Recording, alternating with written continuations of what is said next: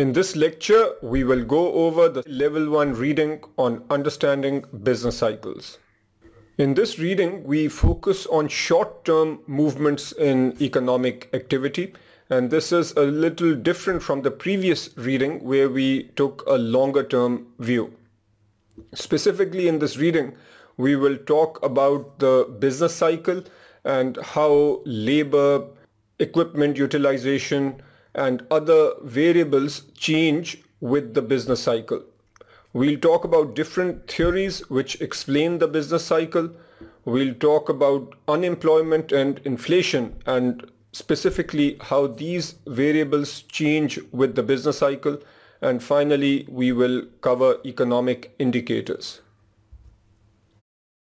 Let's start with a definition of the business cycle and this definition has been taken straight from the curriculum. I want you to pause the video and read this definition. The curriculum emphasizes four points and these are very important because two of the four points are tested in the practice problems at the end of the reading. So I think there is a reasonable chance that this might show up on the exam. The first point is that business cycles typically happen in economies where we have business enterprises or private enterprises. So there are lots of companies, private companies that are producing goods and services and households are working for those private goods and households provide the labor for those businesses. So that's point number one. Point number two has to do with the fact that we have cycles so we have cycles of expansion and these cycles of expansion are followed by recessions. So we generally have economic activity that moves up and down. So I'll put two here associated with the cycle. Third point is that when we have an increase in economic activity, generally there are many activities, many economic activities that are improving at the same time and when there is a decline then there are many activities or economic activities which are deteriorating at the same time. So that is point number three that we have many economic activities improving or decreasing at the same time. And the fourth point has to do with the fact that the sequence of events is recurrent but not periodic. Recurrent means that these cycles repeat. So you have an improvement in the economy and then there is a decline and then there'll be an improvement and so on. Not periodic means that the intensity and the duration are not necessarily the same. If we had said that the cycle is periodic, then that would mean that the intensity is always the same and the length of each cycle is the same but that is not the case. So there is a question at the back which tests you on this point and remember the fact that cycles are recurrent and not periodic. So make sure you are on top of these four points. Broadly speaking, there are four stages of the business cycle. And before I get into the specific stages, let's make sure we understand the x-axis and the y-axis. X-axis here is simply time and the y-axis is the level of national economic activity. So if we are looking at a given country, we are talking about the economic activity in that country. This straight line is a trend line and you can think of this as the potential GDP. So in general over here the potential GDP is trending upwards. The red curve over here represents the real GDP at any point in time. So notice here the real GDP is below potential so we are in a recession. Here the economy is overheated in the sense that the real GDP is above potential and so on. Now let's look at the four stages. The first one mentioned here is an expansion where the real GDP is increasing. So here the real GDP is increasing. And notice that this expansion phase can be broken down into two subparts. Let's call it part A and B. This would be 1A where we are in an early expansion and this part would be 1B which is a late expansion. Then the economy peaks before coming down. We can call this point 2 where the economy has peaked and then we come to 3 contraction recession. So this is where the economy is now slowing down and part 4 then would be a trough. This is where the economy bottoms out. The curriculum does not show the aggregate demand, aggregate supply curves over here, but I want to very quickly connect this material with what we saw in the previous reading. When we are at a peak, here is what's happening. Going back to the pictures that we saw in the last reading, if we have real GDP or output on the x-axis and price level on the y-axis, let's say that this represents our potential GDP at a given point in time and we are drawing a picture for the peak. At the peak, we'll have a situation where aggregate demand and short-run aggregate supply intersect to the right of potential GDP. This is called an expansionary gap and that is the situation that we have over here. When we are in a trough situation 4, then the aggregate demand and short-run aggregate supply will intersect to the left of potential GDP. Notice that in situation 2, the real GDP or output is greater than or to the right of potential GDP. Here all we have done is reproduced exhibit 1 from the curriculum where we look at variables such as economic activity, employment and so on across different stages of the business cycle. The points related to economic activity are self-evident because the cycle is showing economic activity. What is more interesting is employment. So what happens to employment during the business cycle?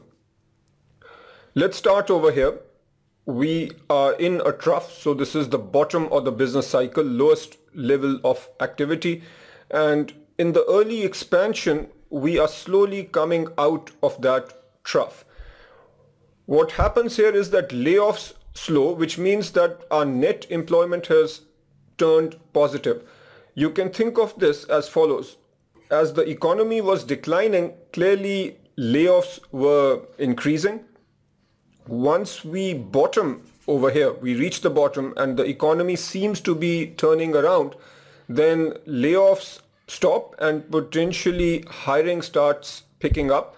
So the net effect is that we have positive overall employment. So employment starts increasing slowly but cautiously.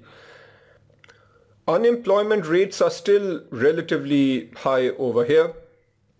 And what businesses do is turn towards overtime and temporary employees because businesses are still not sure whether they are fully out of the recession.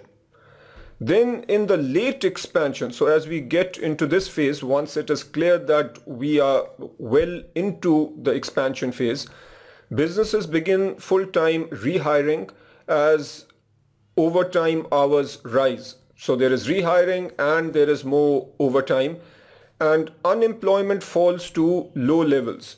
As we keep going up this curve, it is quite possible that our employment in the economy goes beyond full employment, which means that the economy is producing above potential GDP. And then the economy reaches a peak, or we should say the economic activity reaches a peak here, business slows its rate of hiring.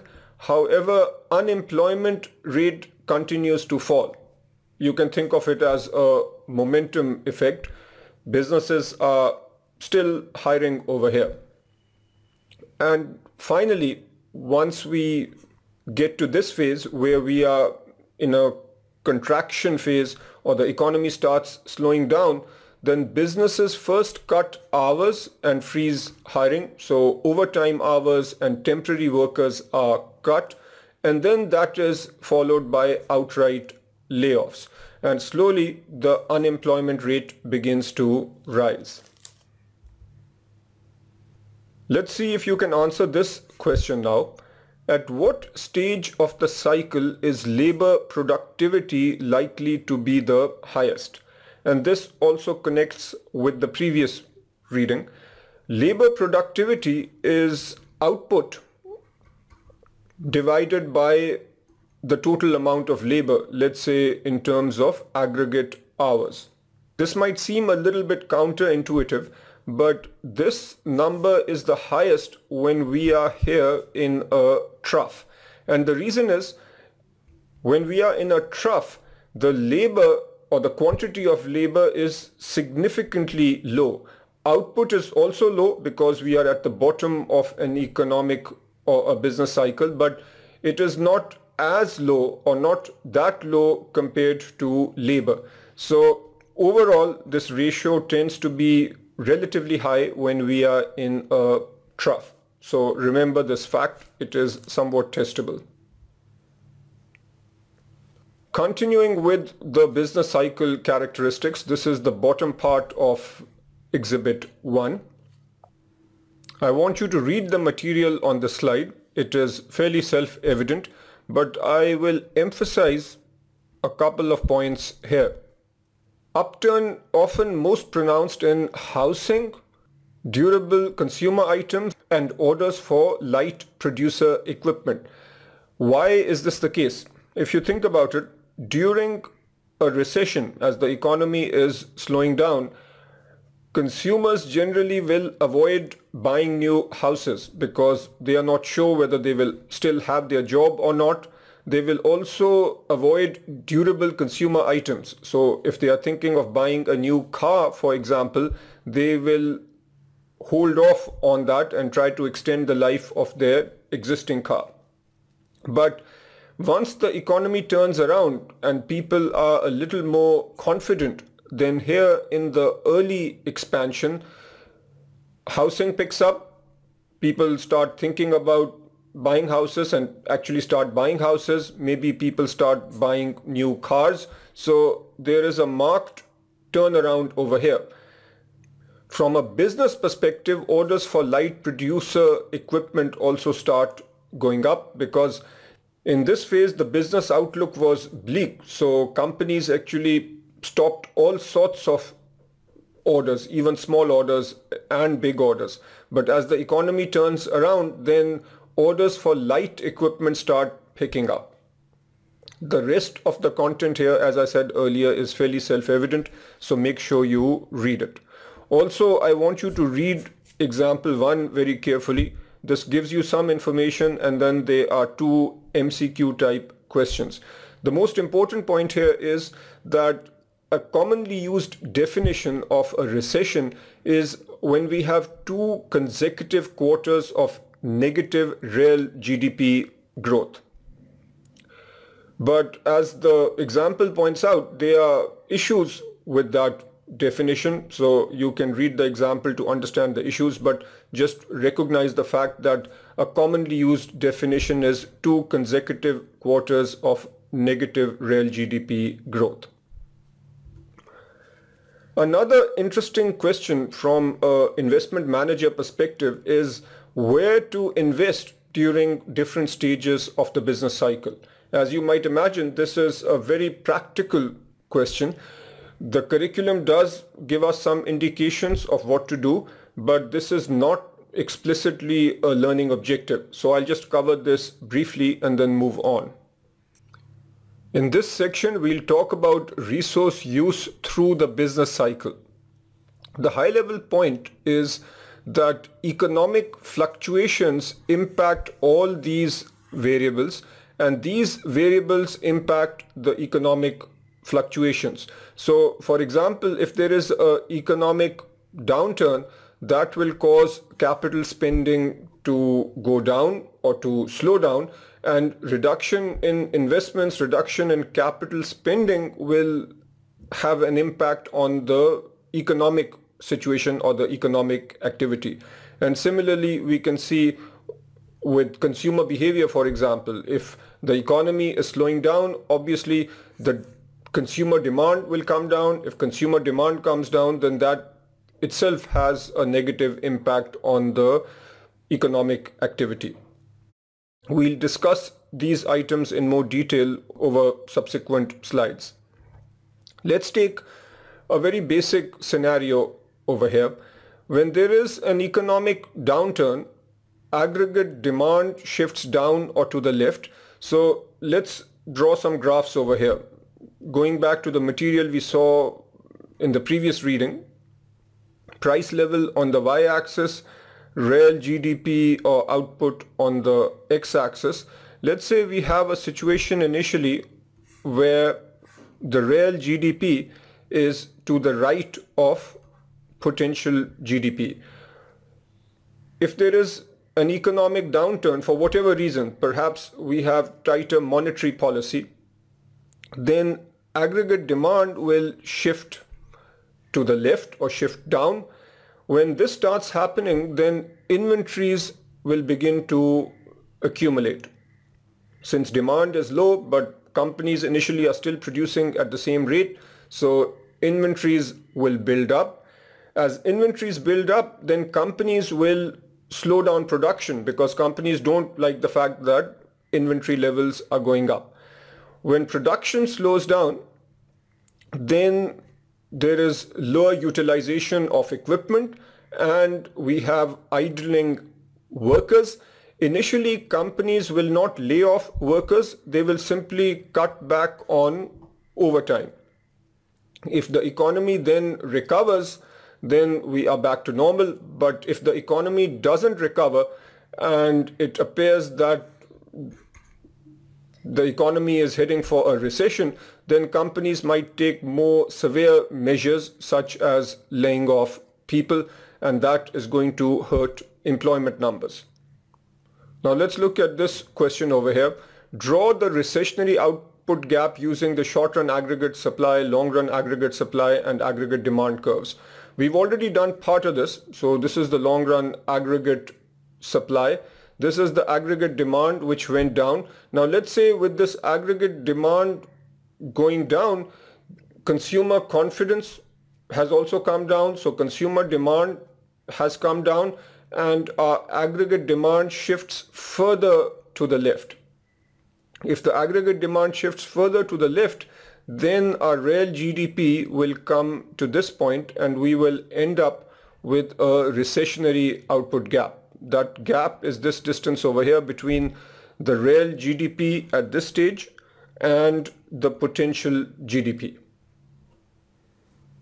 Spending on new capital equipment is sensitive to the business cycle. This is quite self-evident when the business cycle slows down, economic activity reduces, obviously profits and cash flow come down. If profits and cash flow are down, then companies hold back on capital investment. Shifts in capital spending, in my example, the reduction in capital spending will then impact the economic cycle. And this will happen in three stages. Stage one, this is where businesses see demand falling. Businesses then will reduce capital expenditure. The most basic and simple way of reducing capital expenditure is to cut down on maintenance cost. So that will come down. Companies will halt new orders. If possible, companies will also cancel existing orders. Generally, small orders are easy to cancel Large orders such as orders for major construction equipment and so on might take a little longer to cancel. All of these items are going to have a negative impact on the economy. So notice the fact that the economic cycle is impacting capital investment and then the reduction in capital investment is having a negative impact on the economy. So these two items impact each other and reinforce each other to some extent.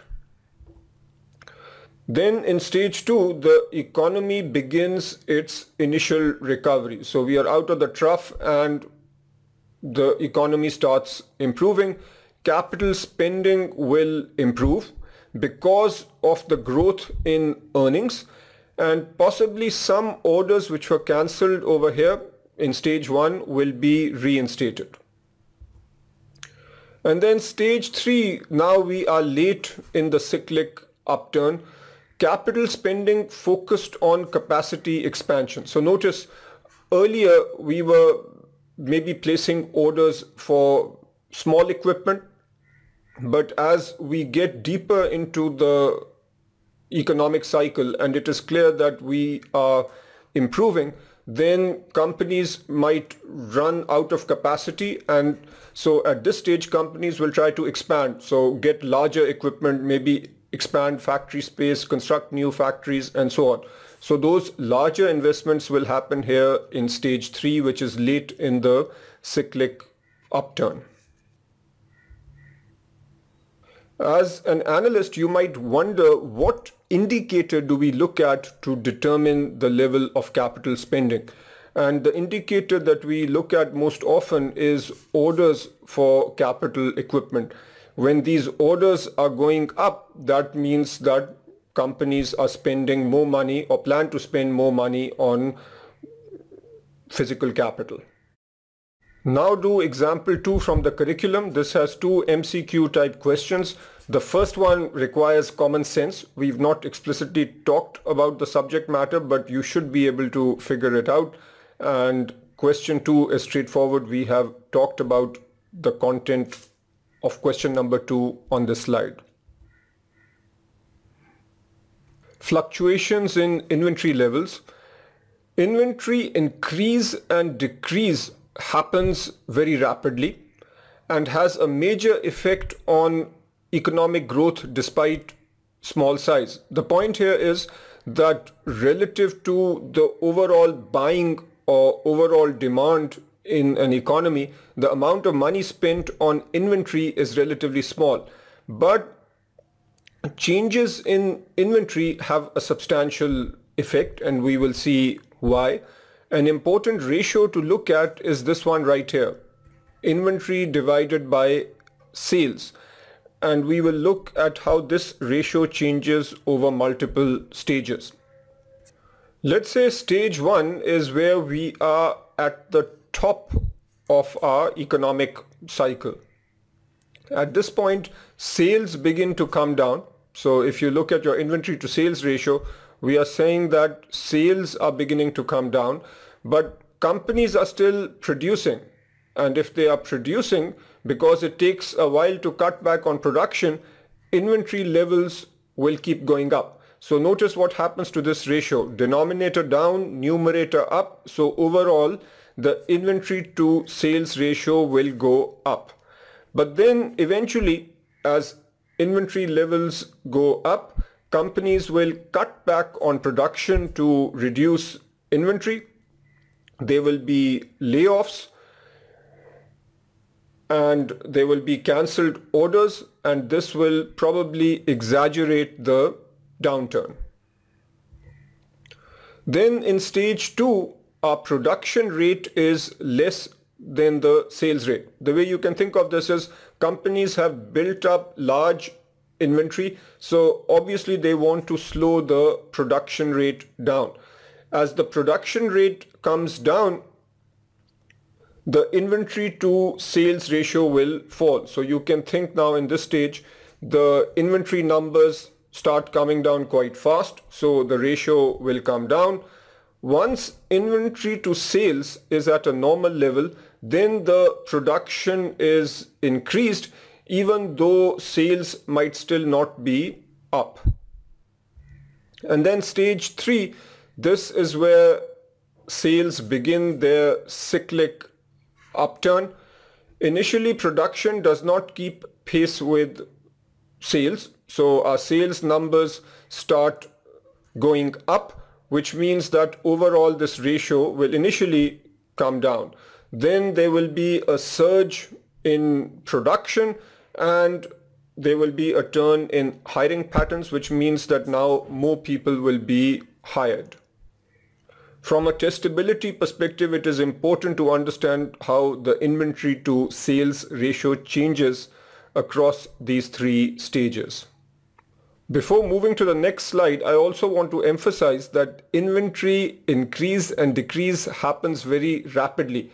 The curriculum also uses the terminology that inventory moves up and down forcefully and that has a major impact on economic growth. Now I want you to do example 3 which consists of a few MCQ type questions based on the material that we have seen on the slide. We now come to consumer behavior. This is important because in developed countries this tends to be the largest sector of the economy. In the United States, for example, the consumer sector represents 70% of the overall economy. Patterns of household consumption determine overall economic direction of the economy more than any other sector. A major indicator of household consumption is retail sales and you will notice therefore that analysts watch the retail sales numbers very carefully. From a testability perspective, it is important to note that Many analysts make a distinction between durable goods, non-durable goods and services. The demand for durable goods tends to be much more sensitive to the business cycle relative to the demand for non-durable goods and services. A classic example of a durable good would be a car and as I mentioned earlier, if the economy is heading downwards, so consumers are not too confident about their income in the future. They are likely to hold back on the purchase of durable goods such as cars, whereas non-durable goods such as food items, there the consumption will remain. Also the demand for basic services will not be as sensitive to the business cycle as the demand for durable goods. So that's why durables are more sensitive to the economic cycle. Analysts also look for growth in income because a higher income would indicate higher consumption which would indicate that the aggregate demand curve would be shifting to the right. But many analysts focus on what's called permanent income. The way you can think of this is as follows. Overall income can be broken into a component called permanent income and temporary income. Permanent income is the income that consumers are confident of. So people are pretty sure that in the foreseeable future they will continue to earn a certain amount. That is permanent income. And then temporary income might be income that they get because stock prices are up or dividends are up and by definition this is temporary.